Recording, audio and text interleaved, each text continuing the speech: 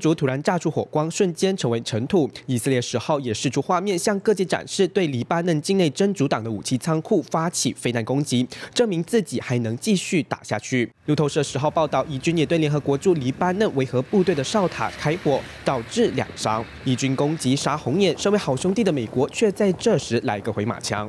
The United States is concerned about the situation in northern Gaza, including. the announcement by Israel of a new evacuation order for several communities. We're particularly concerned that Palestinian civilians have nowhere safe to go. 说好的力挺以色列攻击，现在却警告加萨已经告急。That must change, and now we call on Israel to take urgent steps to do so. 警告归警告以色列恐怕也没有听进去。十号又将飞弹瞄准加萨市的一家诊所。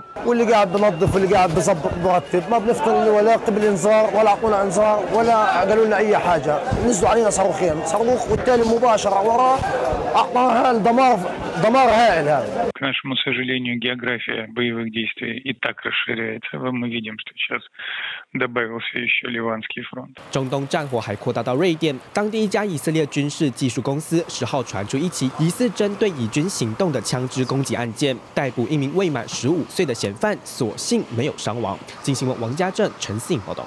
立刻下载静新闻 App，一手掌握新闻时事，尽善尽美，尽好新闻。